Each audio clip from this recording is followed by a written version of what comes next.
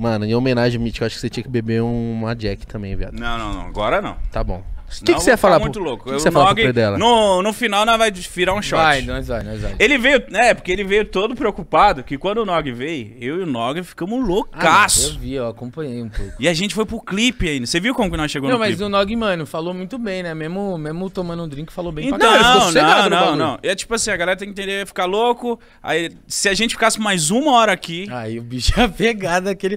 Você lembra como você chegou no clipe? Vocês chegaram assim, ó. Falei, caralho, os caras tão loucos. Nog Predela. Falei, vixe, bicho. eu cheguei amando todo mundo, abraçando o Raikais, abraçando mano, o Dom. Juan. Falei, nossa, mano, que lugar da hora, que incrível. E o. Pô, é porque a gente olha vocês, a gente, tipo, sabe que.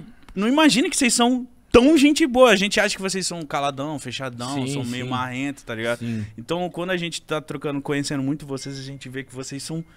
Porra, são muito gente boa, tá ligado? Sim. A gente. É, acho que é totalmente normal isso, mano. Eu também, quando eu vejo os caras assim, os artistas que eu admiro, eu também imagino que os caras vão ser, mano, fechadão.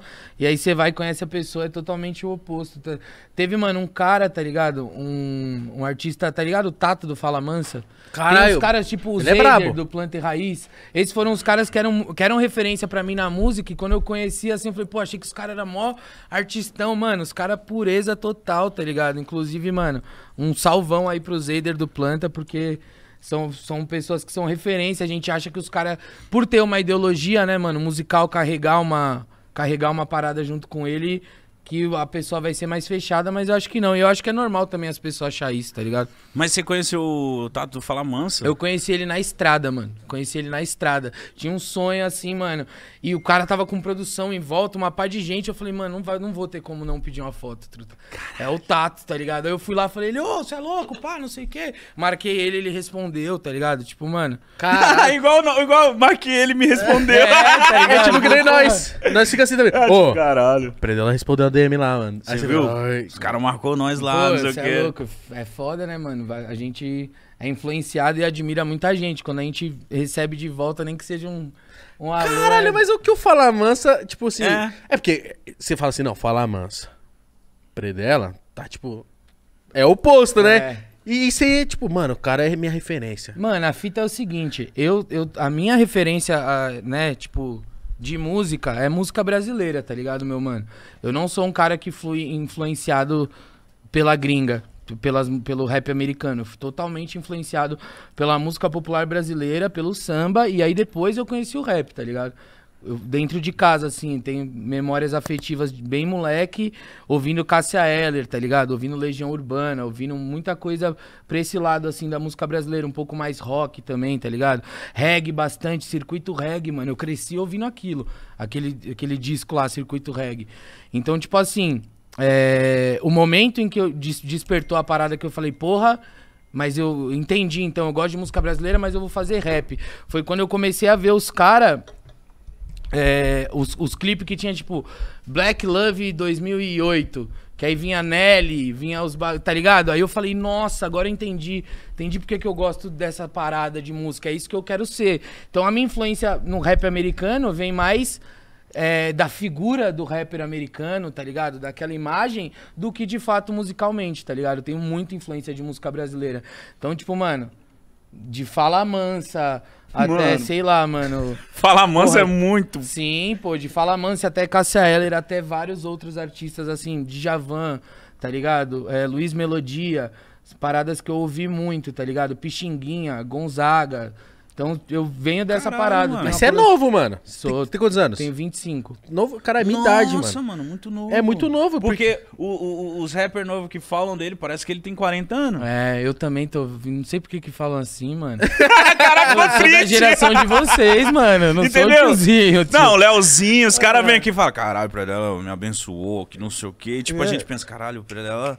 Não, é que você tá de miliano. É que eu, é, eu comecei muito cedo, né, mano? Eu ia pras batalhas de MC, tinha 13 anos. Primeiro show de rap que eu fui, tava eu, minha mãe, Cogito, que era do Astúcia, e Couri, na porta da Holy Club.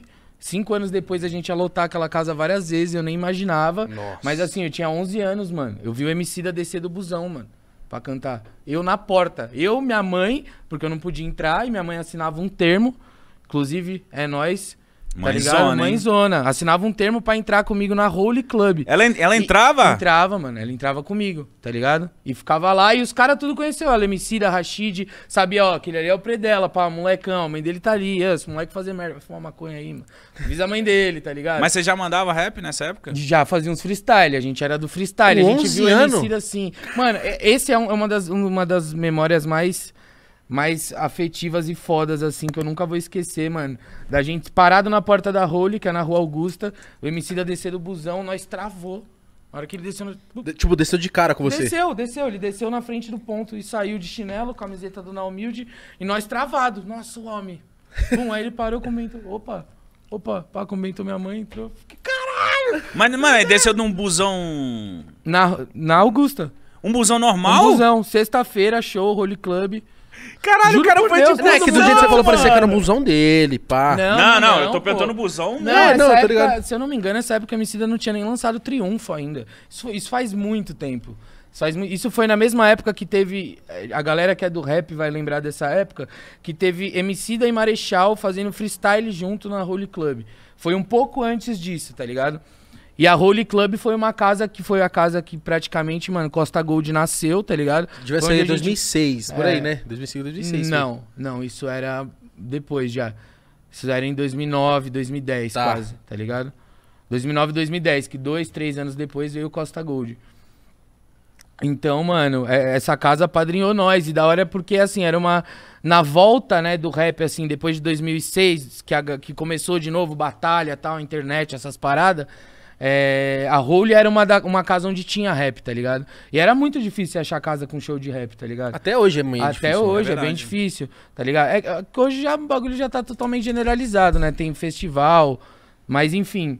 E lá tinha, mano, lá tinha sempre, lá tinha discotecagem, tá ligado? Tinha, óbvio, vários outros lugares, tipo, porra, é, a, a discopédia e tal, mas isso era uma da galera mais das antigas. Pra gente que tava chegando ali, moleque de 11, 12 anos, vendo batalha de rap, batalha de rima, a Holy foi um, a Holy era um pico foda, foi um pico bem histórico e fez parte assim, a gente lá, a gente vê as paredes suar. Parede Caralho. suando, casa um em cima do outro, casa com capacidade pra 400 pessoas, com mil, tá ligado? Um em cima do outro, mó loucura. Todo, mano, eu, vixe, achava que sabia de tudo, molecão de rap, 12 anos, maloqueiro. Boa época, assim.